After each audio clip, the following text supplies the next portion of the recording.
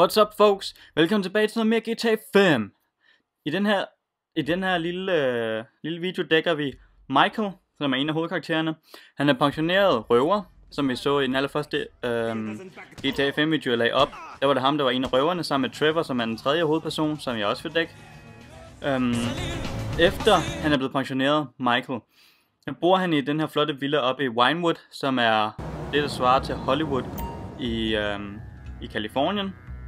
Hvor Winewood så ligger i Los Santos her, og, øh, som ligger i San Andreas i GTA-universet.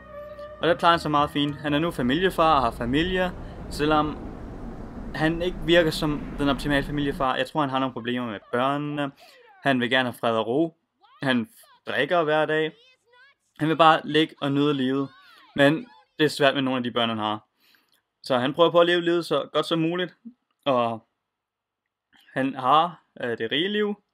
Så, men fra sin gamle dag har han også, hvad hedder det, nogle temperamentsproblemer. Så han har ikke noget imod at komme op i en lille kamp eller to. You recognize this car? Huh? Does it look like it's worth five grand a month to you? You fucking racist! I'll tell you something. Men selvom han har alle de problemer med temperamentet og familien, så vil han sta- stadig gerne gøre noget for at redde dem, selvom han siger det på båden. Hold shit! I'm slipping! Ah! Ah, fuck you! Jeg vil også sætte op båden, hvis det sådan en knæk, jeg havde. My brother from another mother. I mean, I, I hope so, because my mom was kind of a skank back.